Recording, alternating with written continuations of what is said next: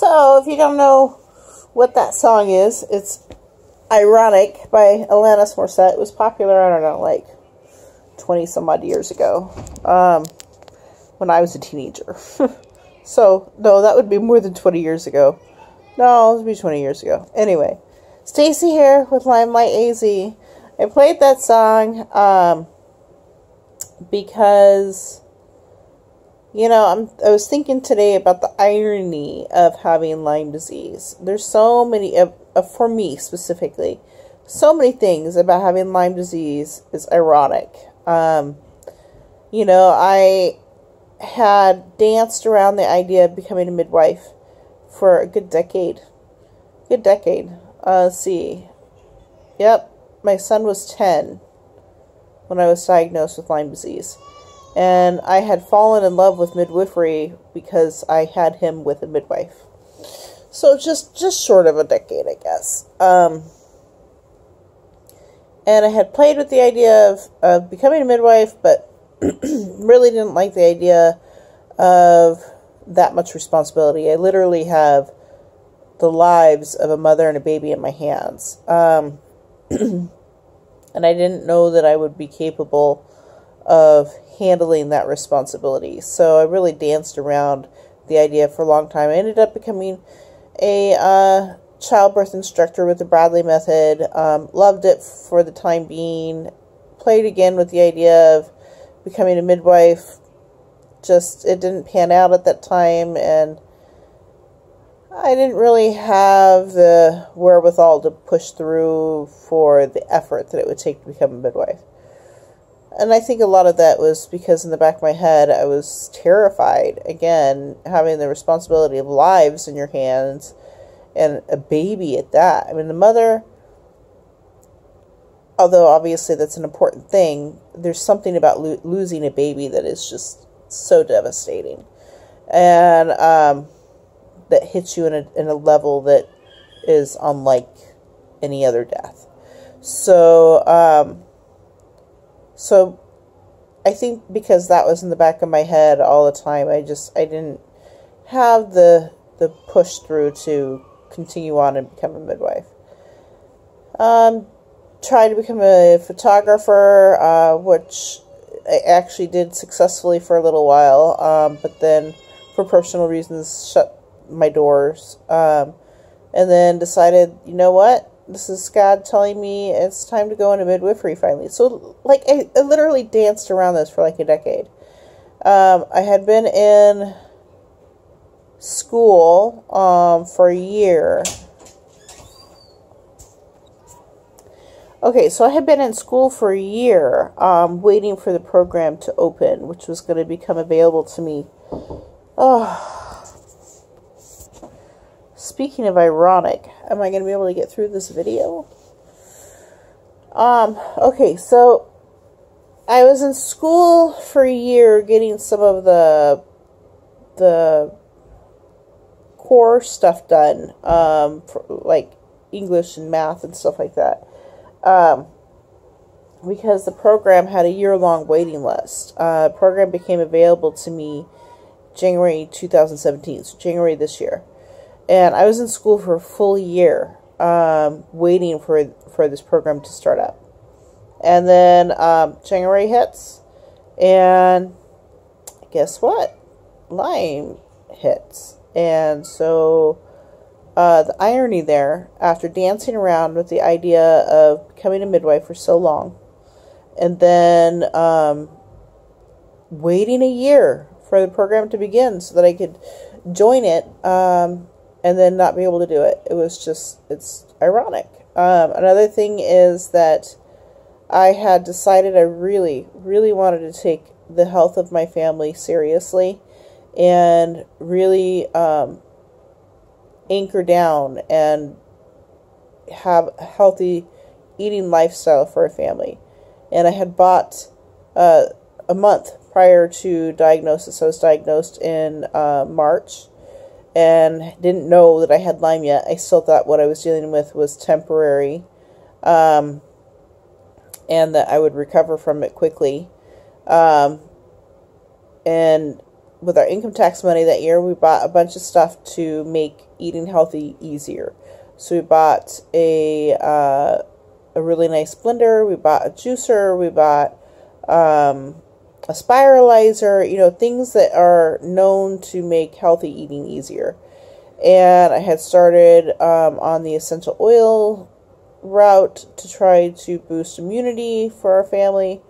And turns out I can't use any of it because I am stuck in bed. so that's ironic.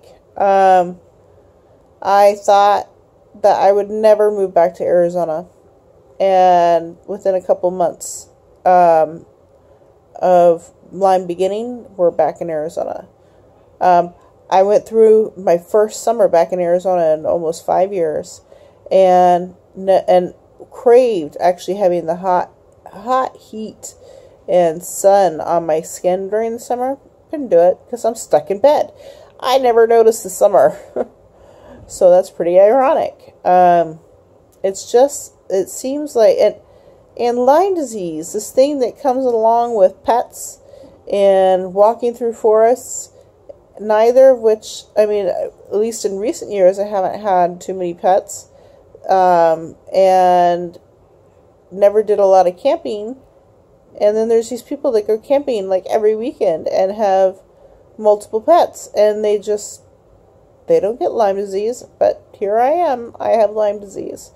And so the irony there, not that I would wish it upon anybody else, I just, it just, you know, I'm a person who likes to look at percentages and know, like, there's a 50% chance of this happening to you. Is it worth it? You know? Um, and it just, it doesn't make sense. Why? why I got this. I am not a person who would be regularly, I was a city girl and wasn't regularly exposed to um, the possibility of a Lyme carrying, Lyme and co-infections carrying tick.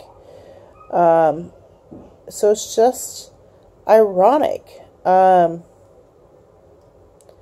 this whole thing is just the irony of everything is just surreal. And like I who knew that I'd be under 40 and bedridden and not know when or if I'm ever going to get out of this bed. I'm determined to get out of the bed, but I don't honestly know how long it's going to take. And uh, the bee venom, I think, has definitely stopped the progression of the Lyme disease and the co-infections, but it sure is slow. So I don't know if it's going to work quickly or it's going to be another year before it works, you know. And also, you know, one of the interesting things that I I've gone over in my head several times. Um, we had moved to a new place about this time last year.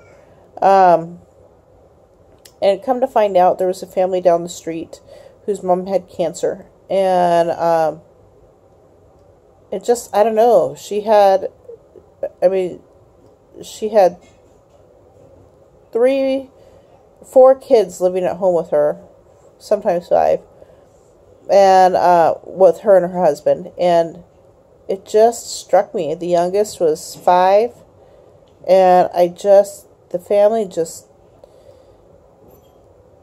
it just hit me in my core like, oh my gosh, you know, she's got a child who's five and she's got cancer, a very serious form of cancer that is extremely life threatening. Um, and she's battling it uh, like crazy, trying to make sure it doesn't it doesn't take her life, you know. And I had talked to several of my friends and asked them to keep her in prayer. And um, I don't know. It, you know, when they asked how I was doing, because we were also going through a rough time at the time, I'm like, you know what? Life sucks for us right now, but I could be a mom with five kids and have cancer that's threatening my life. And little did I know that within just a couple months, I would be dealing with a disease that is not only not recognized but not paid for by insurance and is a self research, self do it yourself healing from it that is apparently got no cure and will take your life extraordinarily slowly. Um, and painfully and will keep you in pain. And that there would be people that have dealt with cancer and this disease and have said that they would take the cancer hands down every time. And I just, I mean, I've never had cancer and I'm thankful that I haven't. And obviously, I never want to deal with that. Um, but to know that there's people that would rather have the cancer than what I'm dealing with kind of puts things in perspective for me. And it's like, so the irony, you know, it just after having my my youngest, you know, I swore that there would be that I would not cut her off from nursing until she was ready. I did that with my the one before her, who I cut off at two and a half years, and she got sick instantly after. Well, it turns out she has celiac disease, and um, it would have been better for her to continue nursing. So I said I would not, I wouldn't do that, and then I had to stop nursing her at eight months. It's like the irony of these things is just like, this is what I want, this is what you get, polar opposite, you know, and. It feels a lot like trying to climb out of a box that is slowly closing in on you. You know, and you you just keep clawing at the edges but don't really go anywhere because you don't have traction. I don't know. The whole thing is just ironic. And so I really I felt the need of posting the irony. I don't know how many other people are deal with the irony of it, you know, and then and then to have the feeling of losing friends and family, um, or at least having the dynamics of your relationships changing in every relationship, every single relationship, it, the dynamics have changed. The irony of having my mom cleaning up after me at 40 years old, you know, I'm not in diapers anymore. I haven't been in diapers in 36 years, you know, and so now we're back to her having to take care of me in that in that way and it's just everything is so so ironic and I'm ready to be out of the irony of it all you know I'm ready to to move on and and have my life back or at least a, a life that looks a lot different than what I'm dealing with now I don't think that I'll ever be able to get back to normal um, or how I recognized life before. How can you after experiencing something like this? But, you know, what can you do? Anyways, so there's my The Irony of It All video. Have a good day.